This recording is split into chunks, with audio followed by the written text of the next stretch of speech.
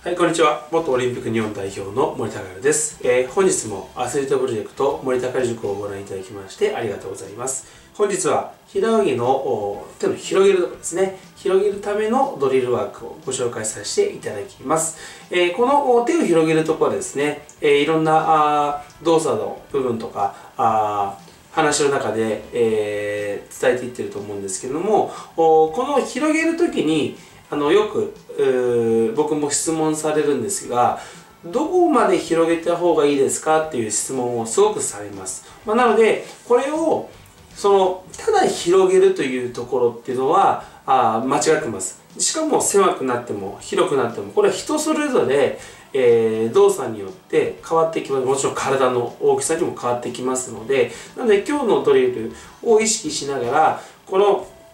手を前から下までグーッとやるときに力が入るところが必ずあります。もちろん最初は力入りません。少しずつ広げることによって手のところであなんか少しこの辺がつかめてくるなっていうところがありますのでそこのところから